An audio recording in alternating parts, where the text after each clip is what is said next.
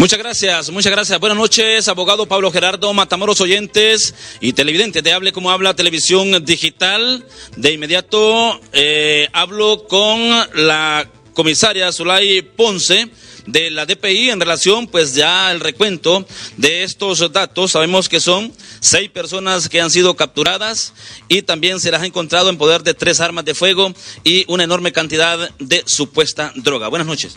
Buenas noches, efectivamente, después de esta ardua operación policial que se desarrolló este día a inmediaciones de la colonia San Ignacio de esta ciudad capital, donde miembros del Centro Antipandillas Transnacional de la DPI, mediante allanamiento, eh, pues seguido de vigilancias, se ha logrado la detención, como usted bien lo señala, de seis miembros activos de la estructura criminal de la Mara MS-13, entre ellos una mujer, que pues estaba en compañía de sus eh,